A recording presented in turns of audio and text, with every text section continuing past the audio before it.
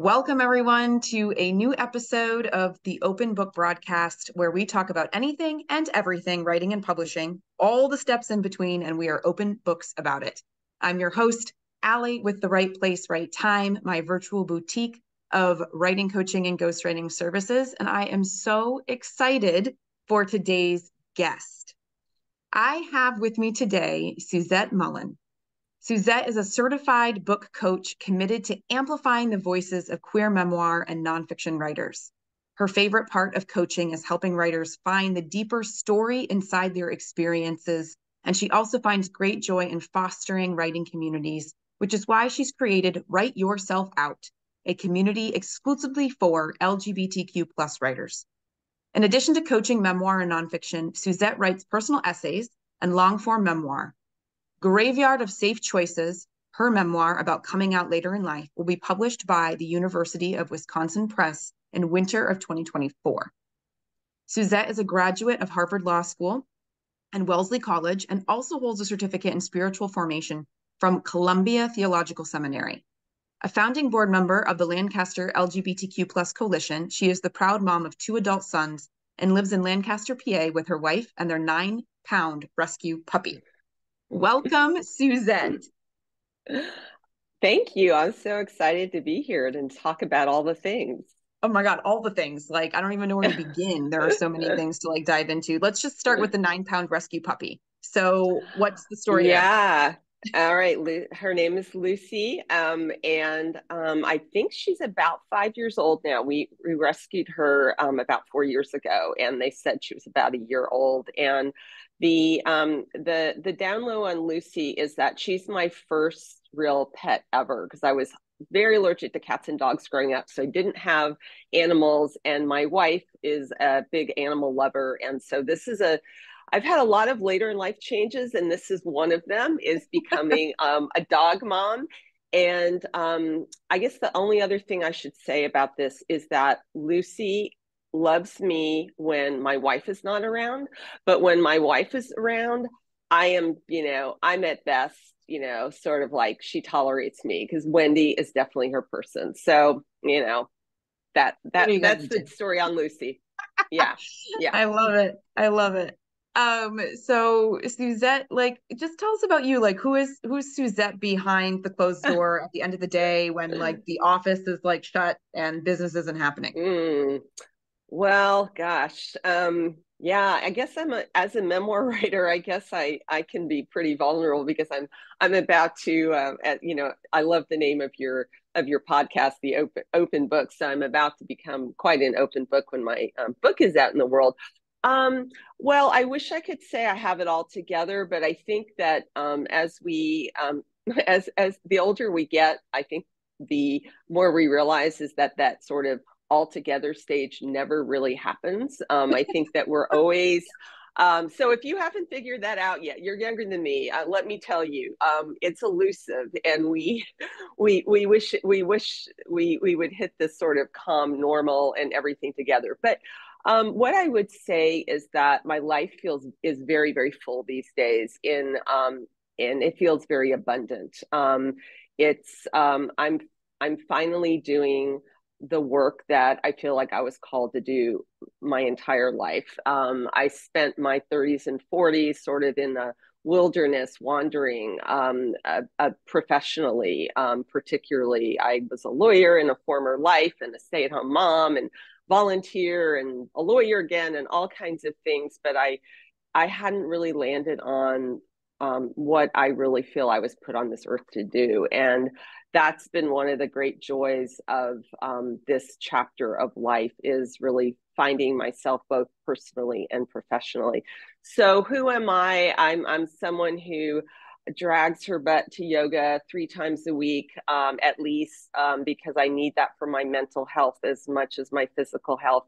Um, I'm a a recent convert to um, a pandemic convert to bourbon drinking. Um, although I've been doing a bit too much of that, so I'm I'm going to I'm I'm cutting back. I love great food. Um, I, I, right now I'm in my co-working space, um, which is a very conveniently across the street from where I live. So I um, I get to be in community with a lot of other creatives and really interesting people, which gives me energy um, and gets me out of my condo. And I can bring Lucy here with me as well, though oh, she's not here with me. T- she's not here with me today, but um, yeah. So, and I, you know, I've got two young adult sons, as you mentioned in the bio. They both live in in New York, and I wish I saw them more often, but they're busy, and I'm busy. But um, they're happy and healthy, and um, employed. So um, I'm I'm I'm pretty happy about all of those things. And um, yeah, I think I mean that that I could go on and on, and I do like to talk, but I'll I think I'll stop there. Okay. Oh my God. So I wanna I wanna kind of stop for a moment and kind of like so you've had all these like past lives professionally. Yeah. Um so how how what was like the origin story of kind of coming to your story finder and then also landing on wanting to really amplify the voices of queer memoir and nonfiction writers? Yeah. Great. Thank you for asking that. So um, I had been doing um, freelance editing for a while. Um, I also did a lot of work with um, uh, high school students applying to college and helping them with their personal statements, so sort of like little mini memoirs. But I I wasn't really running a business, and um, I was just kind of doing it on the fly as people came to me.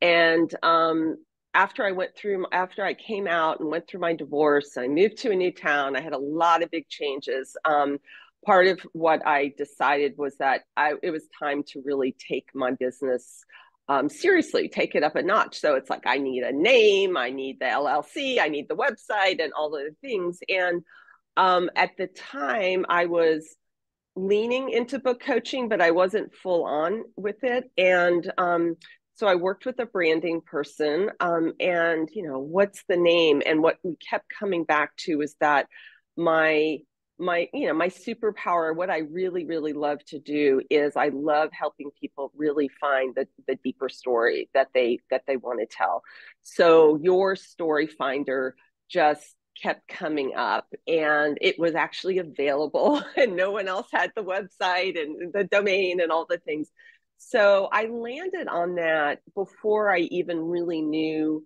um, how perfect it was. And I've kind of grown into that.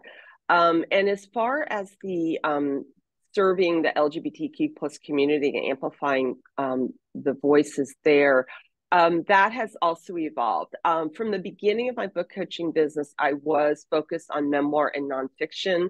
I also I'm certified to coach fiction, but I tend to read and also write memoir and nonfiction. So that was always um, the area I was focusing on.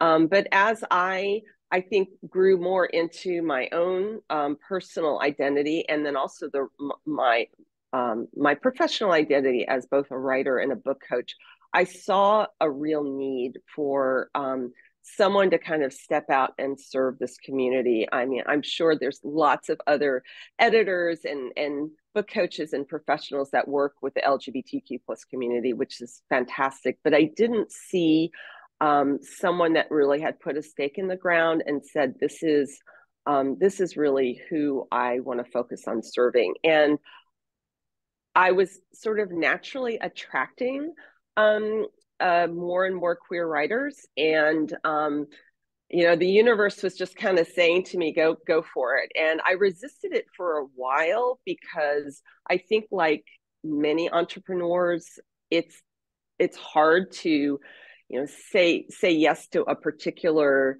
um, group or service because then we're like, oh, what about all the other people? What about the straight people that I'd like to work with? And what I kind of joke and I say, you know, I, I still work with straight people. It's not that, you know, I'm not, I don't have a, you know, a sign like no straight people can apply, but this is where I'm putting my energy and my marketing and um, and as you mentioned in the intro, I'm I'm building a community, um, a 12 month mentorship program for LGBTQ plus writers. So it's just evolved over time and it feels really right. It feels really aligned with my my writing and my life and all the things.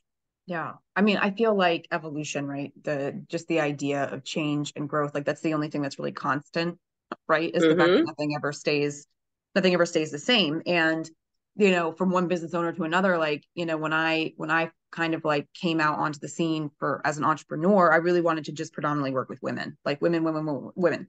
and in the last few years i was like is that the thing like because i'm not anti man and i and mm-hmm. i um you know i love the lgbtq community right and not everybody identifies as as women so i i right. I've now gone through this like tr- transition here in the last year of trying to take women out of everything um, and finding figuring out how do you say that I I how do you say I don't want to work with you know racist homophobic assholes how do you say that without it being really jarring um in your marketing so like i'm still kind of figuring out what the language is but ultimately the point being that you know, we do tend to evolve over time as we get more comfortable in our business, as we get more comfortable in what it is we want to do in the world, as we figure out what we really think our purpose and mission is.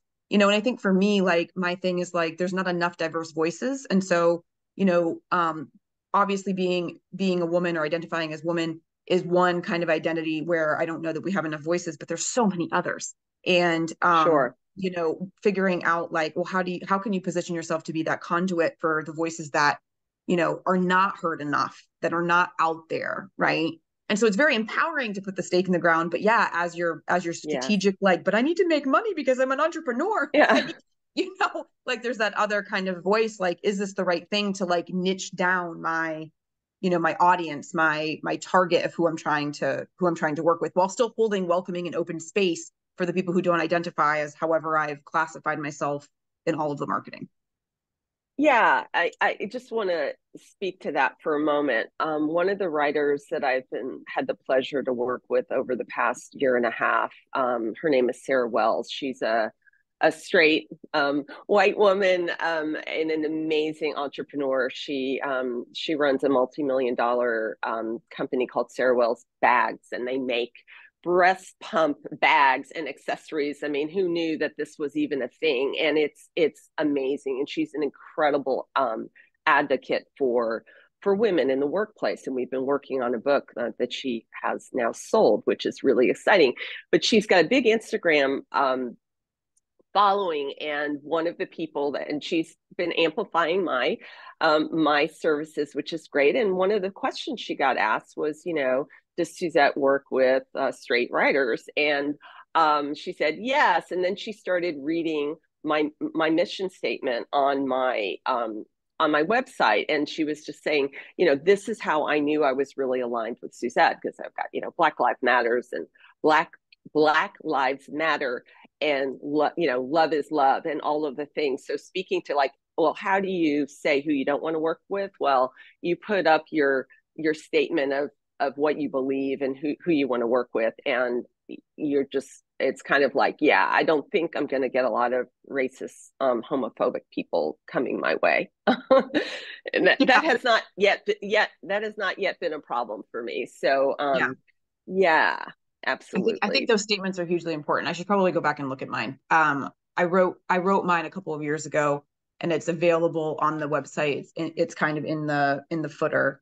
Um right now, but like I need to go back, kind of reevaluate. Does this still say accurately yeah. like what I'm about and like where can we kind of like lift this so that it's more more present and available for people to more easily find? Sure. Um, but let's let's get off of that yeah. you know soapbox um, marketing and yeah. talk about talk about well so I, we've kind of touched on it but let's kind of go into like more explicitly stating you know why why does the queer community why do their stories matter for one and two, how does this new mentorship program um, that you have, the um, Write Yourself Out community, how does that kind of work to elevate those voices? Yeah, well, I mean, this why why queer stories matter, why um, because representation matters, and I think that what I hear over and over again from the queer writers I work with, and I certainly had this experience myself when I was um, first coming out to myself and coming to terms with my own sexuality is I was desperate um, to read other books that um, were um, were of, of other authors who had experienced some of the same things I was experiencing because at the time I felt like I was the only person in the world. I mean, now that seems ludicrous, but I think that that is a very common experience um, for for people um, in the queer community, and they need, you know, I don't I don't think this is overstating it. I think that having reading stories of other queer people who have had a similar um, experience to yours and knowing how that, that they navigated it and they survived it it can be a matter of it can be life-saving for people um, and so i'm just I, you know, if we reach a day when there's um, too many, you know, queer stories out there, okay, well, we can we can revisit. Um, but I don't think we're there yet. Um, no. You know, I've got a one of the writers I'm working with is a trans man, and um, he came to both his um, um, his gender identity. He had come he had come out um, earlier in life um, as a lesbian, and um, and then through a really interesting, different uh, journey to parenthood that he did not expect. He, through that journey, he came to terms with his gender identity. And he's like, I haven't read another book out there with, uh, you know, a, a 40 year old trans trans dad who's you know trying to figure out how to parent a child with special needs you know and so there's so many stories out there with so many layers with you know specificity but the universal of knowing that um you know there are other people out there in the world that that you aren't alone that you you can feel more connected you can feel hope. Um that's really that's really what it's about for me. And what i and one of the reasons i created this community this mentorship program is that while I can and I do work with writers one on one, um, a it's pretty expensive to work with me one on one because it's my time and there's you know that's awesome. You know, yeah. yeah, well, it's just you know there's only one of me, and if I'm working yeah. with you one on one, it's just that's just you know that's just what it is, and um and so I wanted the ability to work with more writers and what I've seen because I've run some groups, small groups of with queer writers before is there's some real beauty in that community um, mm-hmm. of, of, you know, it's over Zoom, um, but they're knowing that you're in a room when you're not the only queer writer in the room. In fact, mm-hmm. you're in a room full of queer writers. Yep. There's there's just something really there's something really magical about it and I love watching those connections grow. Yeah. I just I just do. Yeah well i mean i think don't we all feel better in a place where we can identify with the other people who are with us right you know when we can see some part of our own story inside them which is why i also think memoir is so powerful right why memoir yeah. has that ability to connect people on the human experience and how it can make somebody else feel less alone less isolated less uh, hopeless less powerless you know, when they can see something about their own experience inside somebody else's story, right? Um, and so it's like memoir isn't written as a how-to, but I mean, in a lot of ways, memoir can be can be a guiding light, you know, for the people who are picking it up because something about it resonated with their own, you know, their own journey and their own experience. Um, and so i mean i have to imagine that like you know in in collective in a collective space right where you already you already get to come in knowing that the other people in in that collective space identify as you know because you know unlike our the color of our skin or whatever else you know our how we how we um, identify isn't always known. Um, you know who we're attracted to is not always known. And while some of us would think that these things won't it be wonderful when we get to a time and place where these things just don't matter?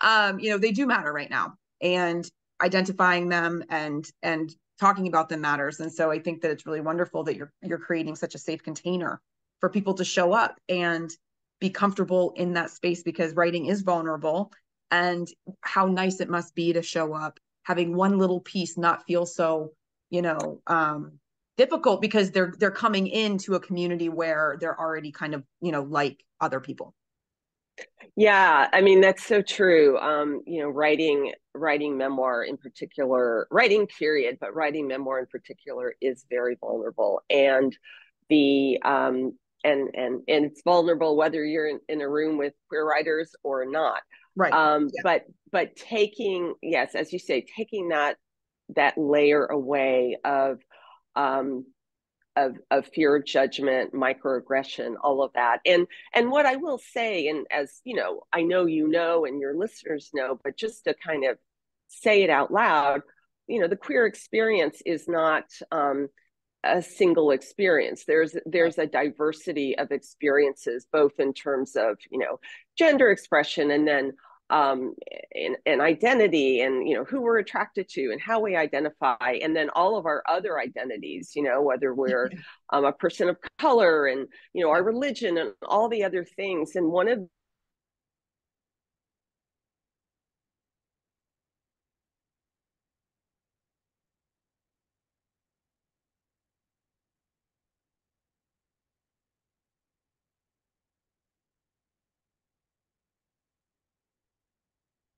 We're just going to give her a second to come back online here with us. Oh, and she was on such a roll. The great joys for me has she ate and um, learn more about the diversity of experience. Okay, Suzette, we lost you for a quick second. So um, we're going to have you repeat part of what you just said. Um, so you were talking about kind of the layered experience of identities, right? So not all queer experiences are the same experiences because we've got multiple identities, right? That then create um, intersections and variety, right, of what we go through in our journeys. Um, that was what you were saying before we lost you.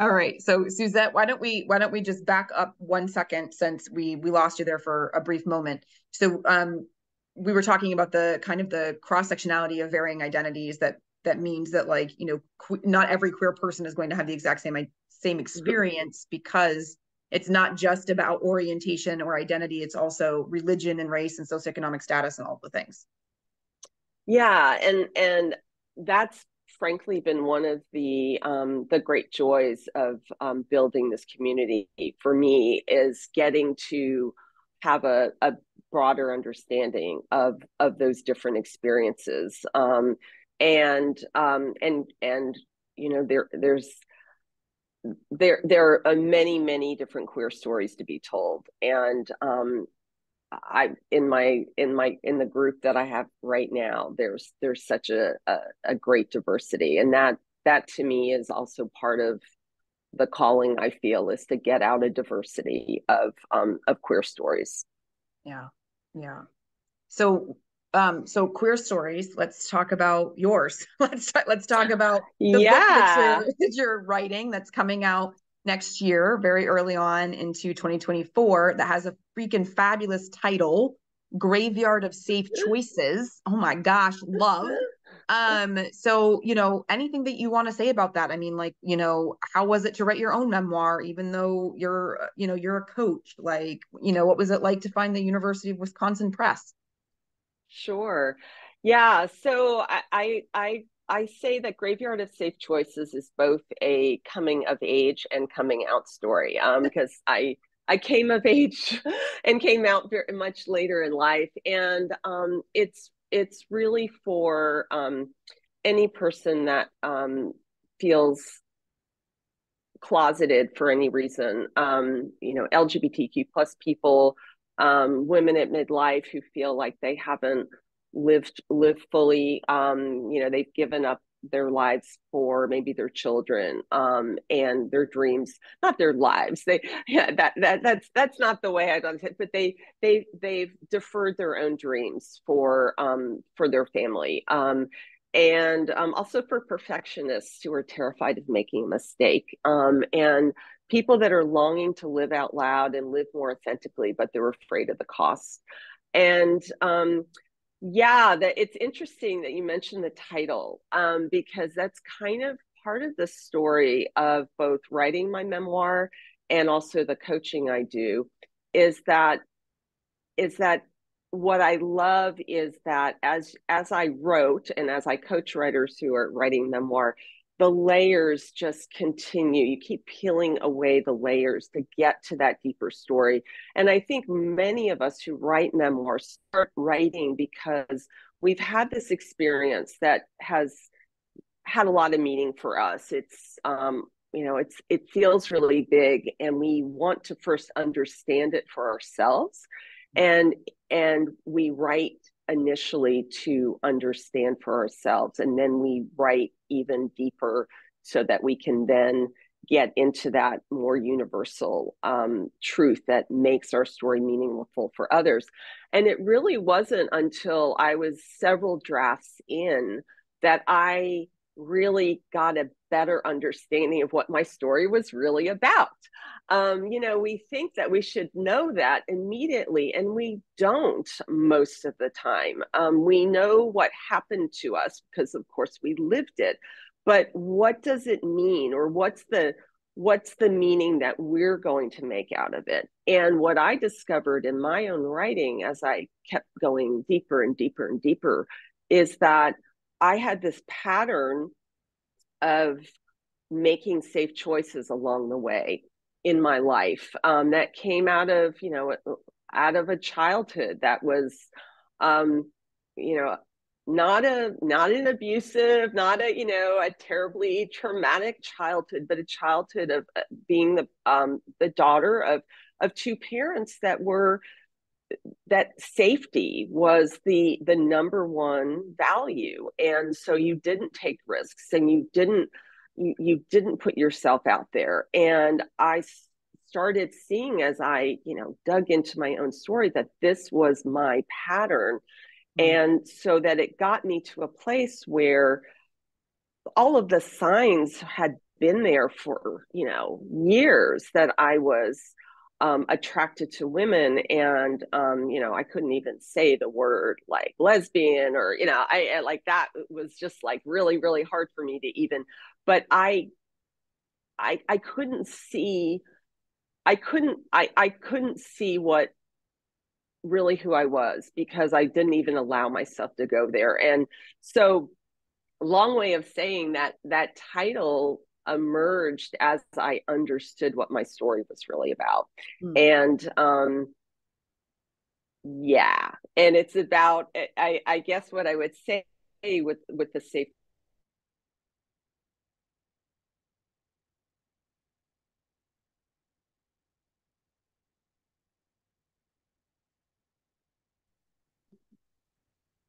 Okay, so uh, we were talking about how um, your title kind of emerged once you knew more deeply what the what the story was.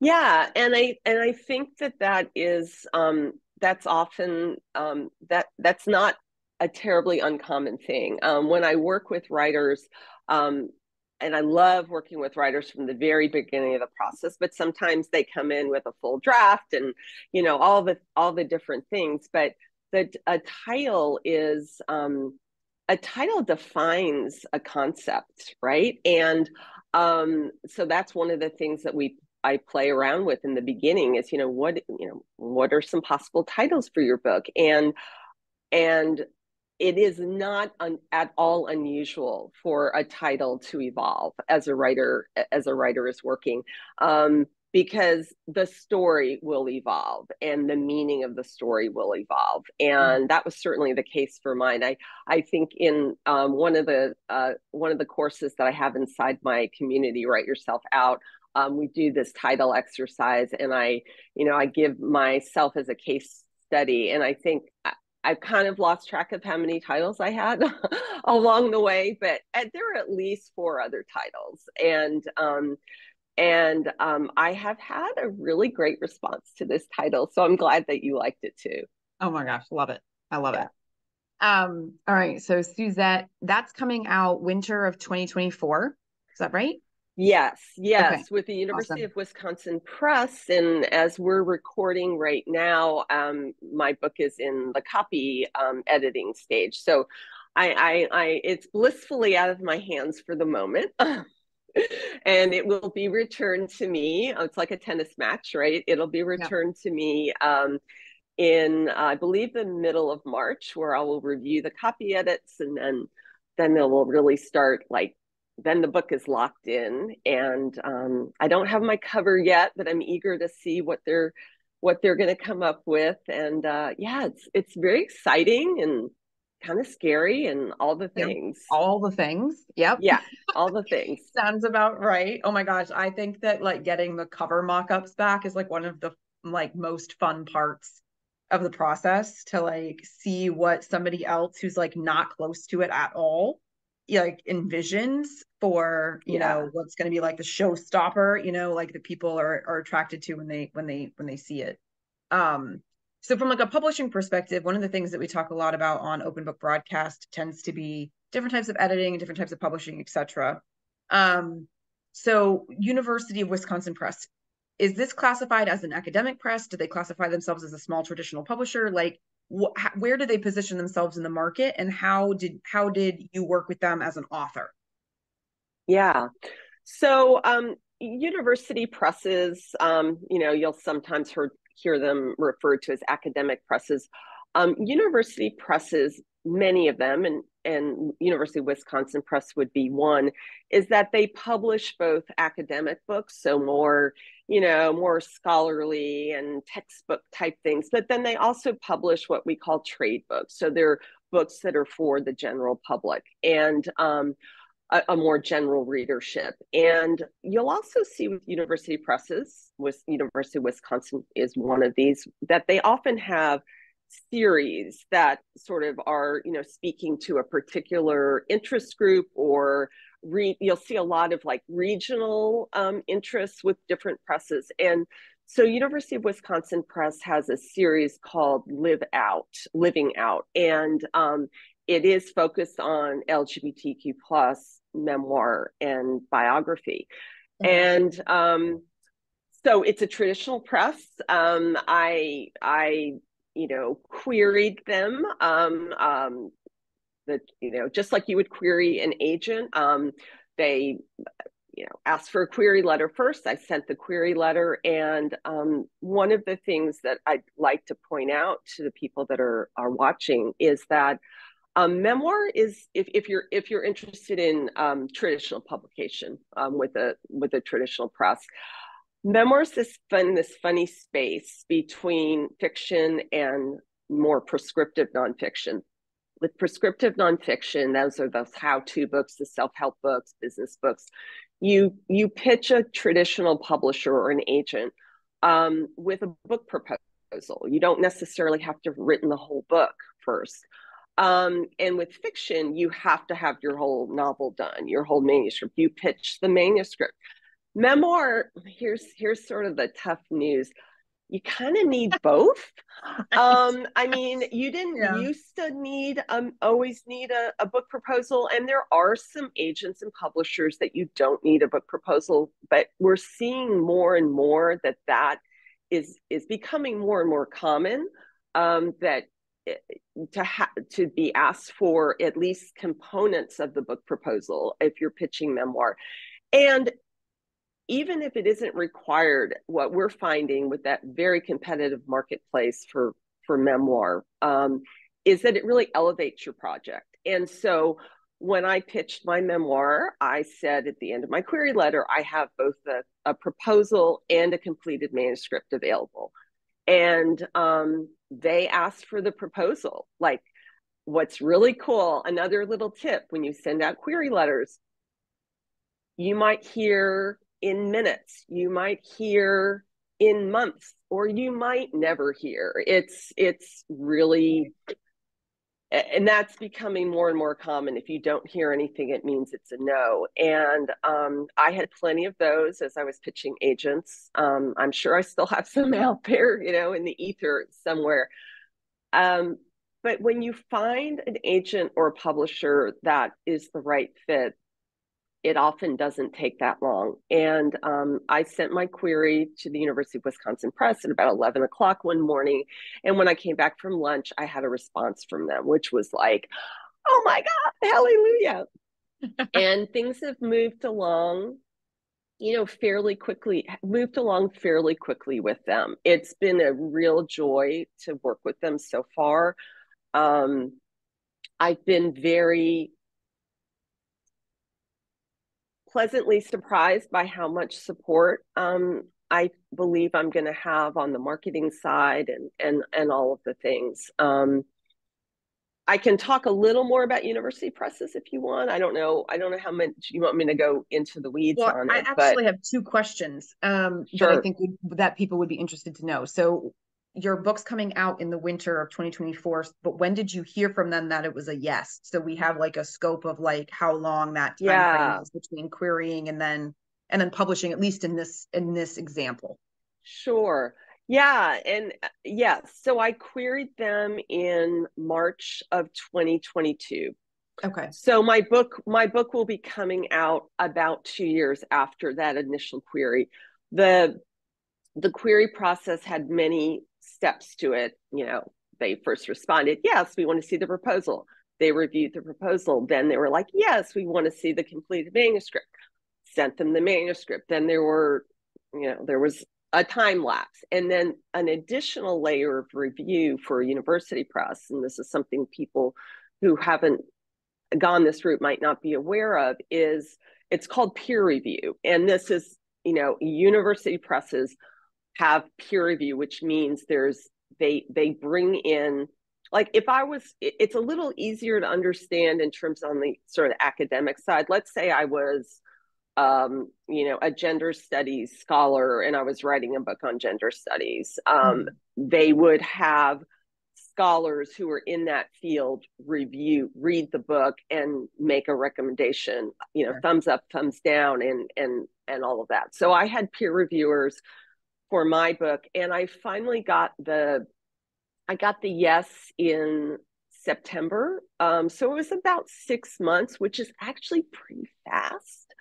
Um, and um, I signed my contract. It's kind of cool. I signed it on coming out day. It just nice. the universe just aligned perfectly for oh my that gosh that's going to be like one of the I best know. behind the scenes stories to be telling people as an author like Isn't I lo- oh my it? gosh i love that yeah yeah so, um and then the turnaround you know is fairly fast um because we signed the contract in October, and the book will be coming out about 15, 16 months later, which is it's it's relatively quickly. Um, I you know I think typically for a traditional press, you're looking more at like 18 to 24 months. Um, mm-hmm. So yeah, I don't know if that I hope that uh, well, that's great because I think that um, so a lot of the people that tend to watch an open book broadcast or even just the people that I work with personally, number one, they don't know anything about the publishing avenues. Um, but two, traditional is like its own beast and it, and it runs very differently, right? And then we have these like different types of offshoots of traditional, and I think university presses is kind of one of them.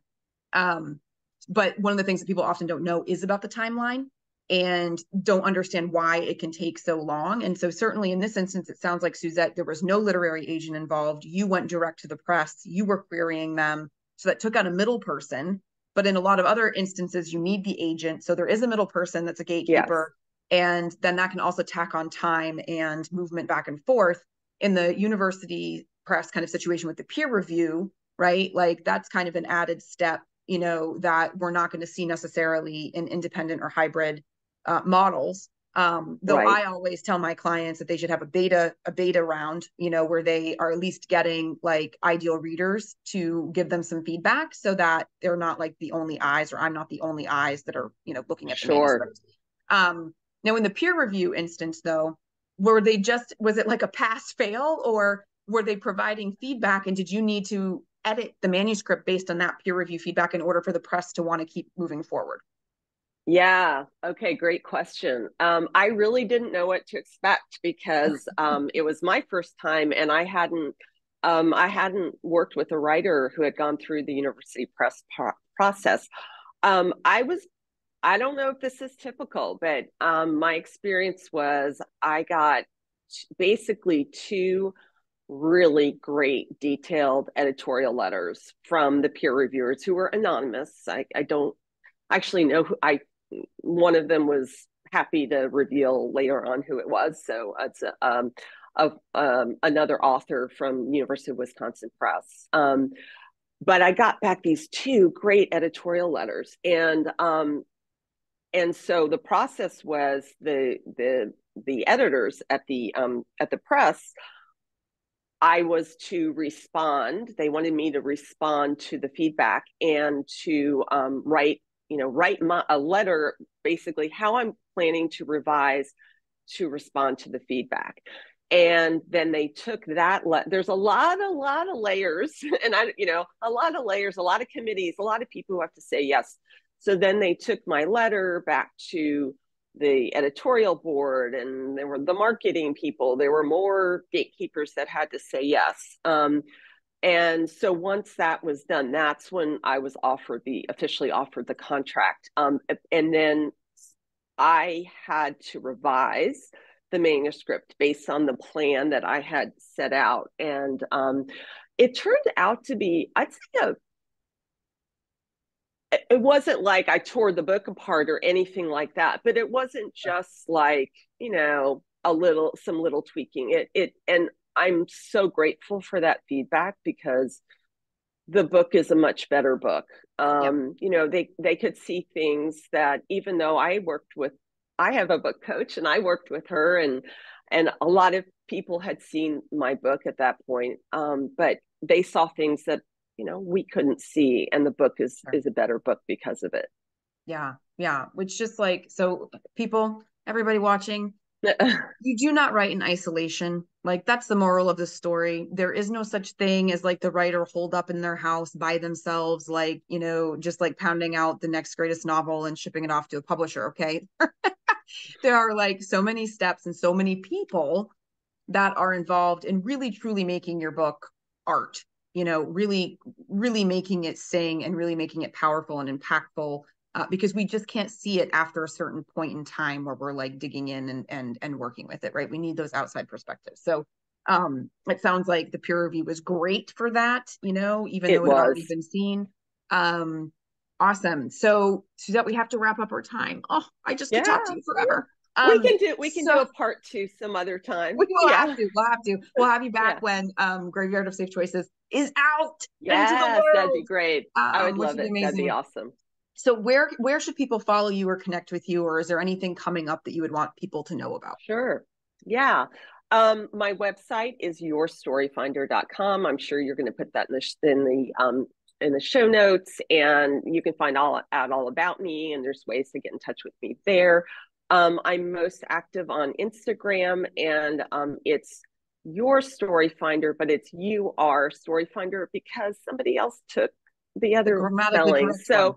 yeah, yeah, the grammatically correct. But you can find me there, um, and um, yeah, I mean, um, I've got a couple of things coming up. Um, I um, I'm co-hosting a retreat um, called Mainly Memoir, and that's mainly with an E um, because it's going to be in Biddeford, Maine, historic Biddeford, Maine, nice. um, in September with um, two other book coaches, and it's for um, female identified writers, and um, it's going to be awesome. So you can check that out. Um, we'll put. I hope we can put that link in the show notes as well.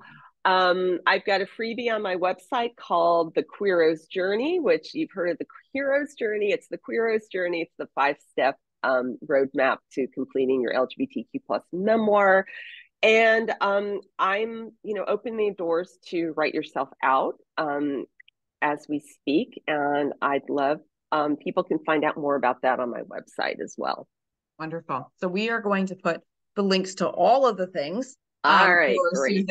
in the in the show notes so that you know exactly where to find her, follow her, connect with her, and um, learn everything there is to know from mm-hmm. from Suzette because she's brilliant and um, she's she's she's for the people. um, so Suzette, thank you so much for uh, for being here with us today. Um, folks, uh, I just want to remind you that we do open book broadcast now about once a month, either live or recorded, all depending. Um, but you can follow all the other episodes on at the Write Place, right time on YouTube. Um, that's where you can find all of them. And in the meantime, if you're thinking about writing a memoir, I also focus on memoir. So Suzette's My People. Um, and over on my website, the Write Place, right time.com, if you go to guide, um, you can get the five step writing guide to finishing a memoir that lights up your world and ours. Um, so we're very in sync with our Mm-hmm. with yeah, our those five steps. Yeah, yeah. Um, so uh, check her out, check me out, and we'll see you uh, next time for another episode of the Open Book Broadcast.